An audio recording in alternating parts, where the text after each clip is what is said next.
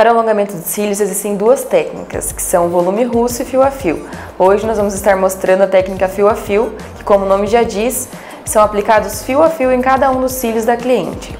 Essa técnica de extensão de cílios tem feito muito sucesso entre as mulheres do mundo todo, por ser algo que traz praticidade para o dia a dia e realça o olhar. Então, para as mulheres que são vaidosas, que gostam de estar sempre com um olhar bem marcante, o alongamento é a melhor opção. Antes da aplicação, é feita uma análise em que eu levo em consideração o formato dos olhos e o perfil da cliente, para então conseguir atingir as expectativas e chegar ao resultado que ela espera.